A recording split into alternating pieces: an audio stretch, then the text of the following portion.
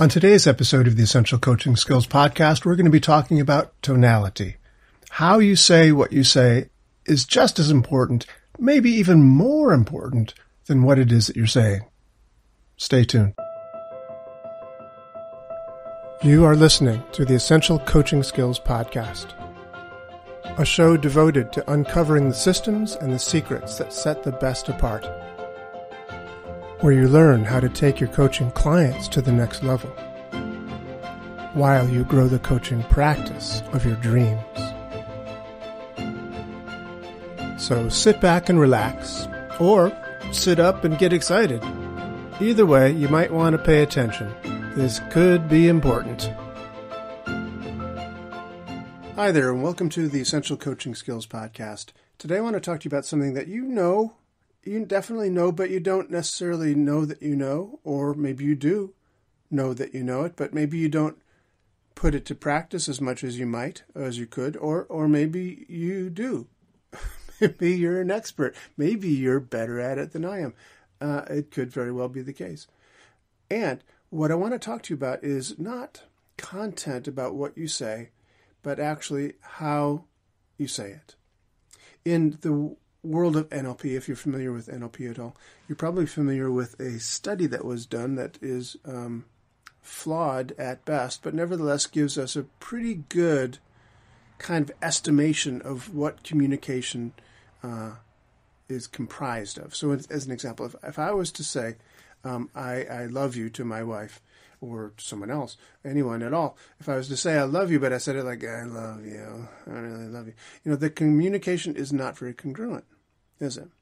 So what we're talking about is this study that was done that said what gets communicated is only 7% the words that are chosen to be said. A much larger percentage. Now, the study, like I said, is flawed, but it says 38% of the communication is the tonality with which you say it. And then the biggest part of the communication is the body language, is the physiology with, with which you say what you're saying. So you're going to have to imagine this. This is an audio uh, podcast, so we don't have that 55% of visual um, nonverbal communication. But if you were to imagine that if I was to uh, have a, a, very pained look on my face and shaking my head from side to side and maybe even a little color in my face, you know, and and I'm saying, I'm really excited that your mother is going to come and spend a few days with us, darling.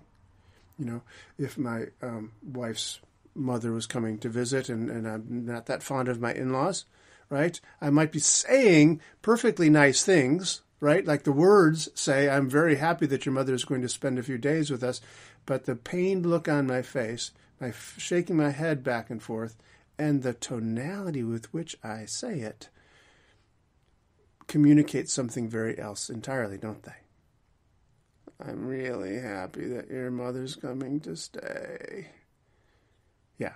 So, because my wife knows me very well, she would um, uh, you know, have killed me by now, practically, with that sort of communication. Um, not really. No, I'm just kidding, because, you know, anyway, it's a moot point. Uh, my wife's mother has been dead a long time. But the point is that the communication is the is is generated by how you say it. So what's interesting about this fact, this this truth, whether or not the statistics are exactly, you know, seven 38 and 55. Whether that's precise or not is not the question. It is true that how you say something matters more than what it is that you say. And think about it. A lot of times these days we get texts, right? We get a lot of uh, emails. I remember speaking with my wife, and she'll kill me if she ever hears me say this, but um, she's not as violent as I'm making her out to be. Just as as an aside, um, metaphorically kill me. She, she would not be happy with me if she knew that I was telling secrets here. But she has sometimes come to me very upset about something she has read in a text and said, Can you believe he said this to me? He said, What are you doing with this? And I said, Well, how, how do you know he, he said it like that? How, maybe he said it like, uh, What are you doing with this? Or what are you doing with this? Or what are you doing with this? Or what are you doing with this? Or what are you doing with this? He could have said it a whole bunch of different ways, right? You don't know from a text, do you? That's one of the dangers of text, isn't it? We can we can attribute lots of things to, you know, the printed word that isn't necessarily there. Right? So it's really useful to be aware of how you come across, what you're saying, how you're saying what you're saying. And what's interesting about this to me is that um, very often I've seen in NLP trainings throughout the world, really, where people talk about this. They say the much more important part of of the communication is how you say it, and the only seven percent is the word choices. And then they spend the majority of the training talking about that 7%. You know, what to say, what are the scripts to say, what are the words to say, what are the steps in order in the syntax for the six step reframe. You know, it's, it's all about that content rather than how you say it. So, what I'm going to talk to you today about is how to be aware of your tonality and how to perhaps practice ways you can use more effective tonality as a coach. Because as a coach, you want to be the best communicator possible, right? It it's in your own best interest, and it's certainly in your client's best interests to be able to be the best communicator possible, and that means utilize your voice effectively. Now, in the world of NLP, there's also a understanding of Ericksonian hypnotic language patterns. Milton Erickson, as you probably know if you're listening to this podcast, Milton Erickson was a, a genius of the 20th century, uh, you know, the best hypnotist ever, probably, and um, and really responsible for putting hypnosis back on the map as far as uh, uh, acceptance within the medical community. Certainly, he was himself a doctor, um, psychiatrist, and medical doctor, and used hypnosis in a different way than most people ever did and uh, really revolutionized things and, and, and brought it back, gave it a sense of res- respectability that it had lost after Freud sort of put it on the back burner with his poo-pooing of it all back in the uh, early part of the 20th century, 1900s. Um, Freud really made people believe that in order to do effective therapy, you had to do psychoanalysis and you know regurgitate and bring back all these uh, uh, thoughts from your past, etc., and analyze things. He learned hypnosis. Part of the theory of his unco- of the unconscious came from his study of hypnosis, but he didn't think it was that effective for his analytical therapy. You know, his going back into the past and bringing stuff up to this conscious surface to analyze it and to get insight about it. So therefore, he said, "Nah, don't do hypnosis." And many people were hypnotized by him, effectively speaking to think, yeah, that's how you do therapy. What Freud said, you know. So hypnosis was put on the back burner and put into the, you know, the county fairs and that sort of stuff. So it really wasn't until Milton Erickson came along that it, you know, got some respectability back again. And much of what you know from NLP, neuro linguistic programming, is derived from Erickson's work. So NLP looked at very closely looked at how Erickson was doing what he did. They tried to effectively as possible, model what he did. And they noticed how he used his tonality, how he used inflections of his voice. He would say things in certain ways that gave across different meanings.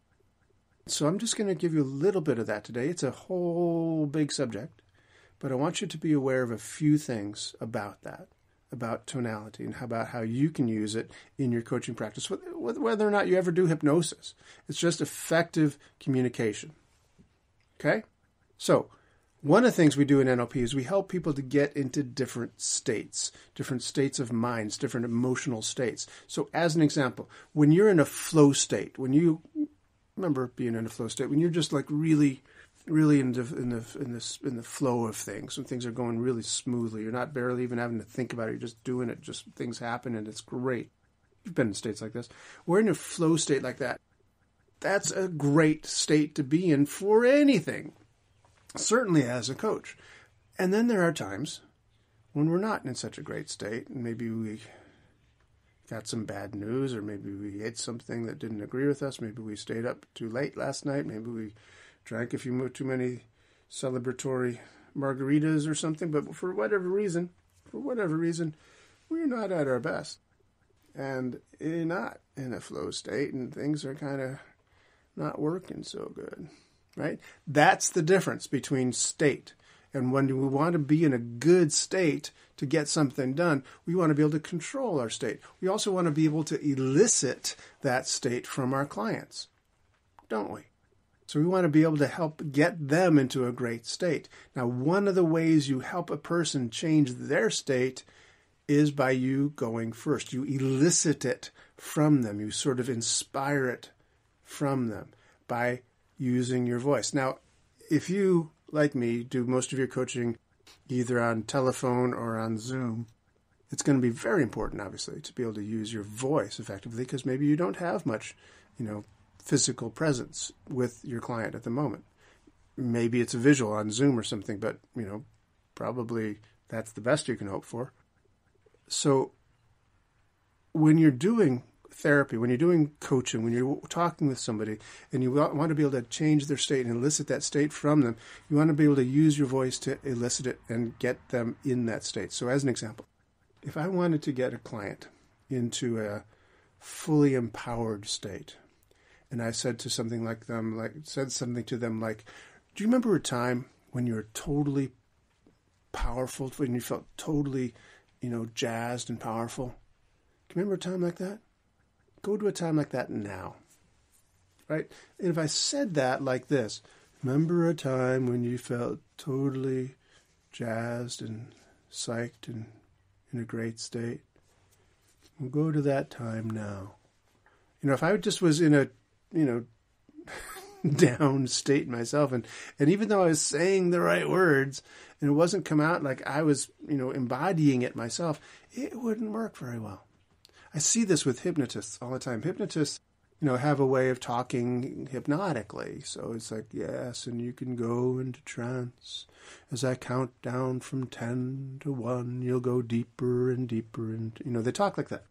So it's kind of funny sometimes when they're trying to do coaching and they're saying, "Hey, get yourself in a fully resourceful state." Remember a time when you're like totally jazzed and and going like, Remember a time when you're totally jazzed?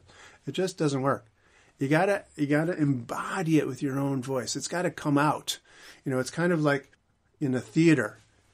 You know, they they talk about how it has to get across the footlights, the the emotions, of what you're trying to say has to get across the footlights, it gets across from the, the brink of the stage out to the audience.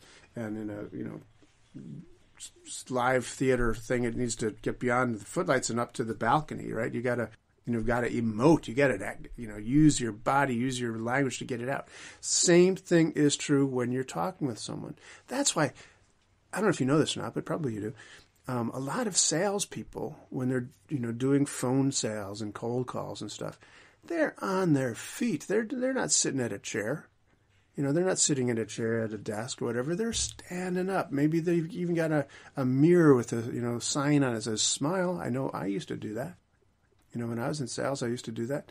So you, you, you'd smile and you embody it with your body. Why? Because it comes across the footlights.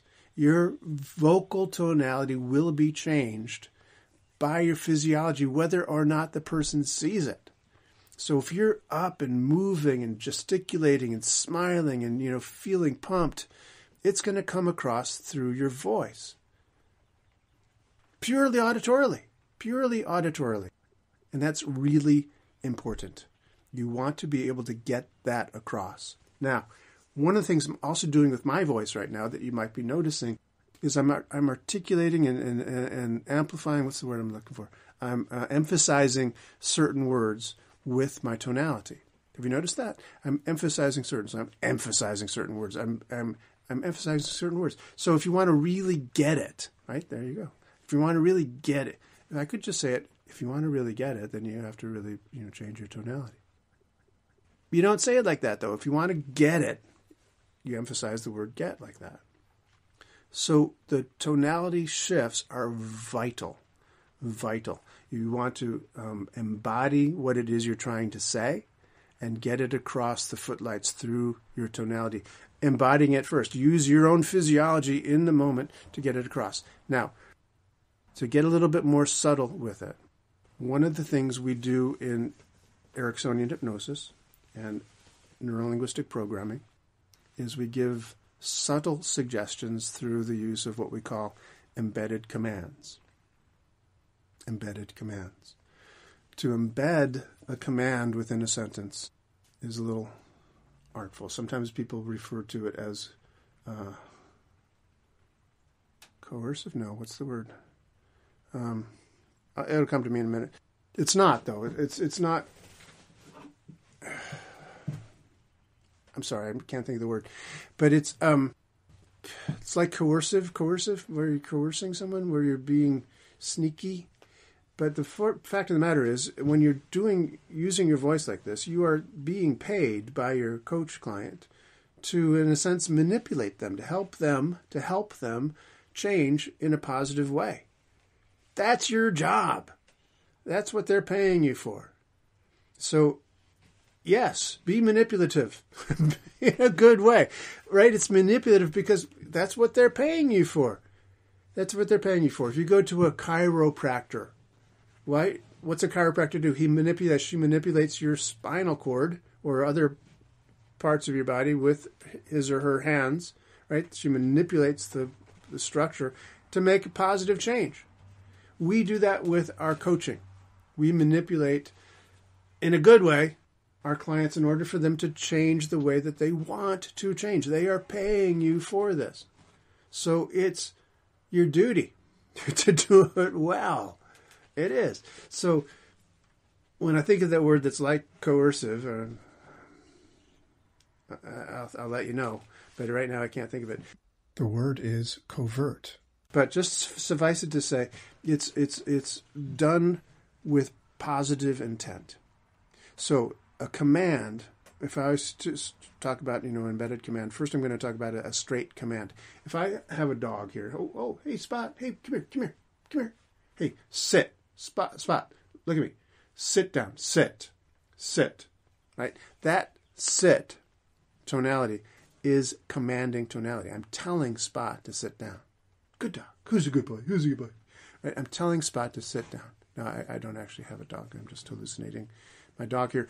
But um, and if I did have a dog, I would definitely name him Spot. I, I don't know too many dog owners who have named their dog Spot. I, I really have not. Um, it's sort of the classic name for a dog, and yet never met one. Anyway, that's just an aside. If I wanted anyone to sit down, I would still use command tonality. I'd tell them, hey, Bob, sit, have a seat. You know, I'd tell whoever it is to sit down. I wouldn't say, Bob, sit down. I might say that because I'm asking, I'm not being polite. But that's what a tonality that goes up is. It's a question, isn't it? Isn't it? It's a question, isn't it? The tonality goes up at the end of the sentence, right? That's what a question does. Command tonality goes down. Command tonality goes down at the end of the sentence. So if I say, I want you to go into trance, that's not going to be a particularly effective way to say it. If I said, I want you to go into trance, then you get it. I'm telling you to go into trance, right? Now, that's not particularly artful. It's not particularly, you know, subtle. I'm giving you a direct command, go into trance. You know, we want to perhaps be a little bit more subtle with our embedded commands than that we want to embed the command within the sentence of a structure. Now, speaking of my dog Spot, Spot, who's a good dog? Spot here is not like pills. You know, have you ever had a dog? You ever had a cat? Um, I've had cats where you try to give them a pill, and it's like you're not going to do it. And and um, but dogs are far easier. With a dog, what you do with the dog is you take your pill, and you take like you know a little handful of dog food or hamburger or something like that, and you put the pill inside of it, right? And you say, hey, here, here, catch, catch, catch. And they'll just wolf it down, won't even think about it. The pill's inside spot, right? The pill was embedded in the hamburger. We want to embed a command within the sentence so the person will just swallow it. Does that make sense? So we put the command into the middle of a sentence where they won't quite notice it. But we want to still use our tonality to make sure their unconscious mind does get it. Right? We want to use that command tone down to make sure that the suggestion we're offering is noticed by the unconscious mind and accepted as a command. So if I was to say to my friend Bob, who's who's coming in, uh, oh, here he is. If I say, Bob, sit down, that's a direct command, right? We've covered that already. And if I said to him, Bob, you know, people can sit down and get comfortable anytime you want. So I'm talking to him about people can, you know, it's just a matter of fact statement. People can sit down and get comfortable anytime they want. Right? But within that matter of fact statement of truth, people can sit down and get comfortable anytime they want. I'm saying, Bob, people can sit down and get comfortable at any time they want. So that sit down is is separated out from the rest of the thing. It's marked out and it has that command tone down to make it be uh, heard and appreciated by the unconscious mind, by Bob's unconscious mind in this case, that it's time to sit down and maybe even go into trance because I did mention that obliquely, didn't it? So we want to use this tonality shift to give positive suggestions in good, appropriate, and uh, positive ways. I said positive already, but you know what I'm talking about. Now, one of the things we do in class when I teach Ericksonian hypnosis classes, or what I call these days neo Ericksonian hypnosis classes, is we practice this. We practice this because it's a funny thing. But sometimes people don't quite notice how they sound when they're speaking. I don't know if you know because people don't notice. Like I don't know if it's subconscious, but but they think they're doing something pretty extraordinary with their tonality, and it just doesn't come across the footlights. You know, the the audience doesn't hear it. They don't hear it. It's not good enough. It's not big enough. It's not accept, accentuated enough. Right? So if I wanted to say, you know, people can, Bob, sit down anytime they want and get into a comfortable trance. Um, that's probably noticeable. But if I think I'm doing it that, I say people can, Bob, sit down anytime they want and go into a light, comfortable trance. Um, and I think it sounds like in my head that I did it that way. But then when I listen to the recording, I notice it wasn't so big. It wasn't so noticeable. And so, a really great way to practice this is to record it. And thank goodness today that's easy. You know, a few years ago, you had to have a tape recorder. You had to have some sort of apparatus. You had to buy special. You had to buy a special thing, a tape recorder. You had to go out and get one with some tapes and microphone and a battery and all kinds of stuff, right? Today, you just walk around with a recorder in your hip pocket all the time, right? Your your phone does this. You can record on your phone. Sometimes much better recordings than you could have done on that tape recorder, to tell you the truth. And it's so easy to practice. So practice. you know, it's an opportunity to practice. Um, say certain things. See if you can get a particular inflection in mind something you want to tell your client. Write out an embedded command and practice saying it so that it sounds like you're telling them to do something. Now, by the way, an embedded command is always telling them to do something. So if I said to Bob, people enjoy sitting in a chair, sitting in a chair, Bob, sitting, you know, that doesn't tell Bob what to do. I, I say people can enjoy uh, sit down. to tell them to sit down. That wasn't proper sentence structure. You probably noticed, but I'm still sit down, Bob. I have to tell them to do something. So your commands will always be on a verb, on a verb like sit or go or do or hear or get or understand. You know, some verb like that. You're telling them to do something. Now, I also want to say this tempo is really important, isn't it? That means the speed with which you speak. When I'm sitting back in my chair and getting real comfortable and talking with the client who's maybe going to go into hypnosis, my tonality naturally will start to slow down. My tempo will slow down. My tonality will tend to get a little softer. And the tempo certainly does slow down.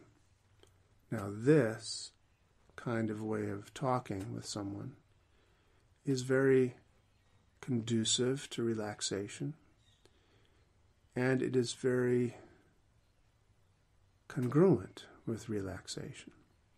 Because when a person is relaxed, we tend to, you know, talk like this, be like this. Now, if you're delivering a very stirring talk to audience, if you're doing a motivational speech and you talk kind of like this, it may not hit the mark quite the same way you'd hoped when you wrote it. And maybe you wrote it late at night after some brandy and sitting in front of a hot fire. you know, so it sounded good to you.